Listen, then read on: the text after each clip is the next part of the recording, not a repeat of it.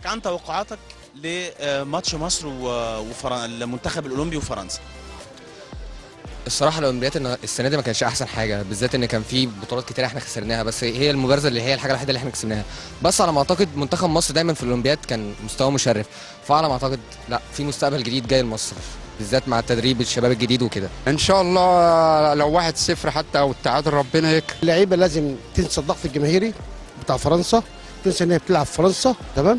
تحط في دماغها الدور قبل النهائي ولو لعبوا بنفس الأداء اللي لعبوا امبارح وحتى لو جه فيهم جون ما تهزوش هنكمل إن شاء الله. لو قدرنا نكسب أتمنى إن شاء الله. مصر تكسب 2-1 فرنسا بس إن شاء الله خير. إن شاء الله ربنا يسهل إحنا عندنا أمل إن هم يكونوا رجالة ويفرحونا كده ويوصلوا المباراه النهائية إن شاء الله يعني.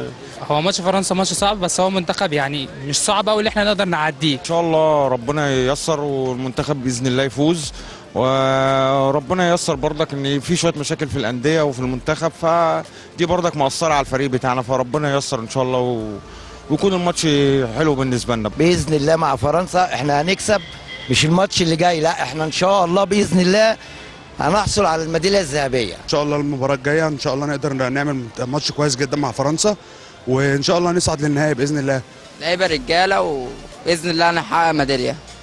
حتى لو ما حصلناش هنحقق ميداليه المركز الثالث. لعيبة رجاله كلها. إن شاء الله ربنا يوفقهم بأمر الله. إن شاء الله مصر تكسب.